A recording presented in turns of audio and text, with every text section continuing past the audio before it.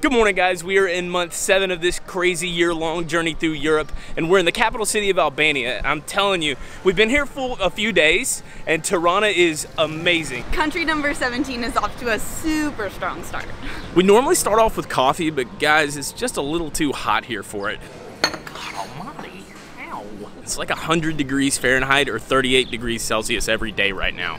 We found a place called Sun Juice Shop a couple days ago and loved our smoothie, so we figured it'd be a great way to start the day.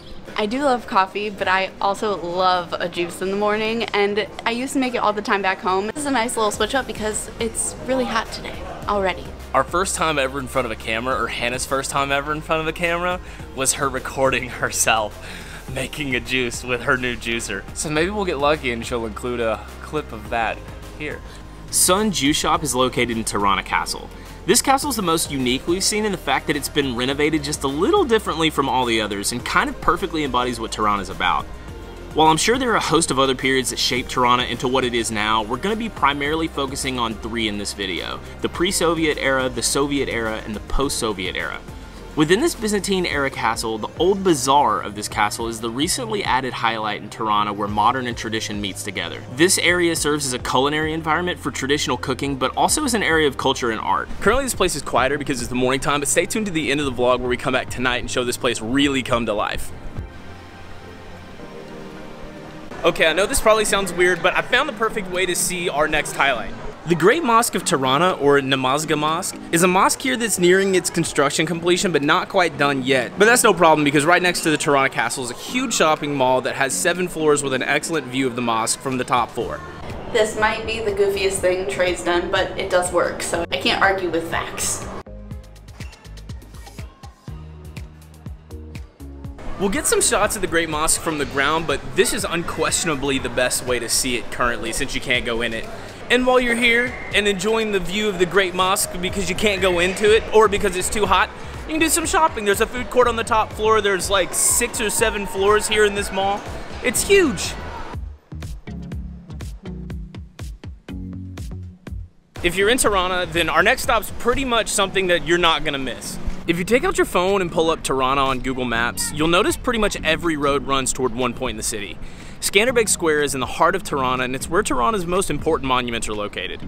It's named after George Kastriot, commonly known as Skanderbeg, an Albanian feudal lord and military commander who led the rebellion and resistance against the Ottoman Empire in the 15th century. There's a statue of him in the square in the location where the communist era statue of Joseph Stalin once stood.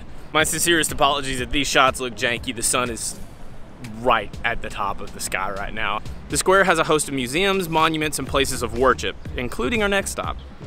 If you're in Skanderbeg Square, then you'll have no issue spotting the Ethem Bey Mosque. It sits on the southeast corner of the square and has been here since its completion in the 19th century. What makes this mosque so significant outside of its location is that it's one of the few religious centers that survived the Soviet era where religious activity was banned.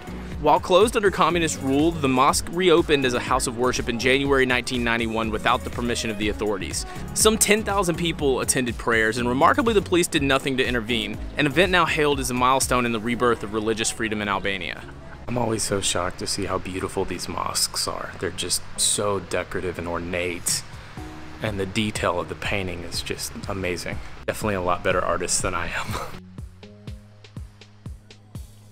We forgot our water bottle today, so we had to buy one. Yep. Right next to the mosque is the clock tower. This clock tower was built in 1822 and provides a great view of Skanderbeg Square. You know, if you're okay with climbing a bunch of stairs. Or if you're not scared of heights, which I am. Let's see if this goes better than the minaret in Mostar. This is ridiculous. Why did I do this? What do we it think? It can't go worse. It cannot go worse. Let's see, 200. All right. He's scared of heights, so if I have to carry him down, Oh, it's beautiful if you believe me. Exactly. Thank you. Oh. we're going.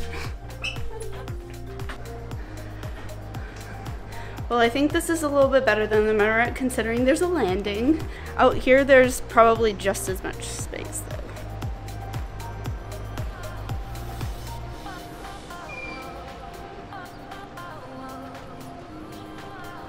You're doing so good. I got about a third of the way up and I was like, nope. And then I was like, man, I already paid. This is beautiful. Yeah. I'm just waiting for my legs to stop shaking. And then after that, we're gonna love this view. from a distance from the rail, as you can see. Great grip on the rail. You got this. Oh yeah, this ain't no problem. Oh yeah. Coming. Why? Look at. Whoa! Made it to the top, that's all that matters. It didn't have to carry him. We're good. You like them, but yes, it was very In case you haven't noticed, Albanian people are wonderful.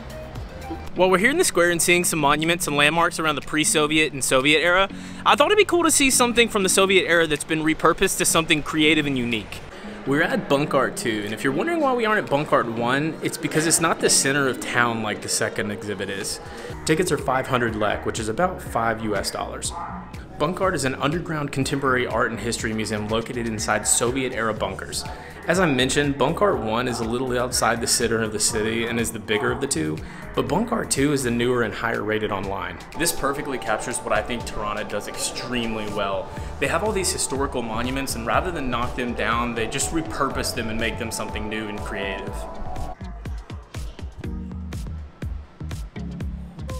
One thing about Tirana is it is brutally hot in the summer, as we've mentioned numerous times today. So we are walking down Ruga Murat Toptani, or Murat Toptani Road.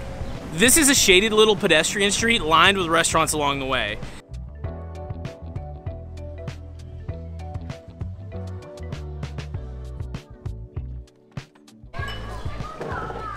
I love Greek food. I feel like we never need an excuse to get Greek food, and we're right here. Albania borders Greece. It's got to be good Greek food. The perfect tray bite without the onions and the tomatoes.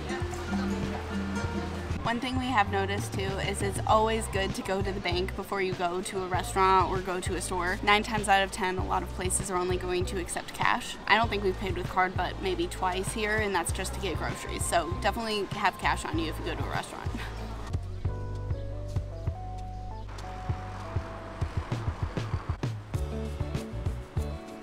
One bummer about today is that we can't go and visit the Pyramid of Tirana because it's currently being renovated. The Pyramid of Tirana is a Soviet era structure and museum built in 1988 honoring the legacy of communist Albanian leader Enver Hoxha. Now it's being converted into a people's monument that contains cafes, studios, workshops, and classrooms where free lessons will be available to young Albanians. As I mentioned earlier, I think it's really cool that Albania doesn't knock down any of these old Soviet era buildings. Rather, they just repurpose them and use them for something positive. Not too far away from the center of town is Grand Park, although it's like a half mile walk, which currently feels like five miles right now. I really just need to pick myself up off the ground and just press on. Since it's 99 degrees, a lot of the people here know you probably don't want to be in the park walking around, so even though it is nice and shaded, most people are indoors because they're not crazy like we are. Hannah and I walked over here yesterday and it's a really cool park to enjoy walking around the lake. You'll see people fishing, running, and enjoying the little play areas around here. It's a nice spot to get away from the busy center of the town.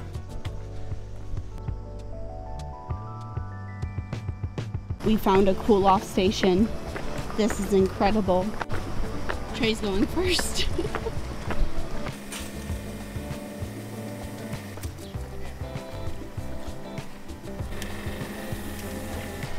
Get after it, hey ma.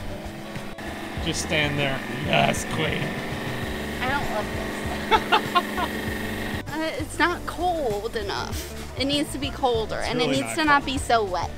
Like I'm Well, soaked now. It's spitting out water. Believe it or not, this is the coolest day of the week that we had to film. So we were trying to figure out when we were gonna film, and it's been like 105 every day. Today, the high was like, what, 100? 100. So we were like, okay, 100, not too Yes. terrible. It could be so much worse.